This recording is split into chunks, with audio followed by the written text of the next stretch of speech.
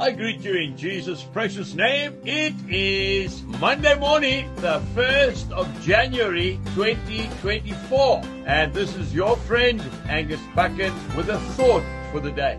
First of all, I want to wish you a very happy new year, a very peaceful new year, a brand new start. We go to 2 Corinthians chapter 5 and verse 17. Therefore, if anyone is in Christ, he is a new creation. Old things have passed away. Behold, all things have become new. What a beautiful promise from God. The Lord has brought us new life. It's a new year. It's a brand new start. The old has passed away.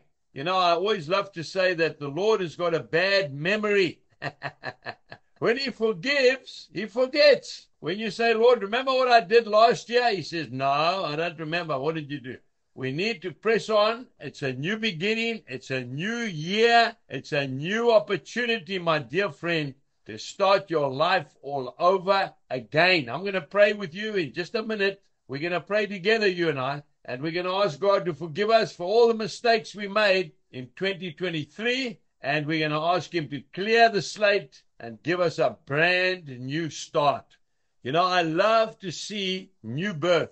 And being a farmer, I have a lot of opportunities to see that. To see a newly born calf, a newly born lamb, a newly born pony, a little foal that is born. It is quite something.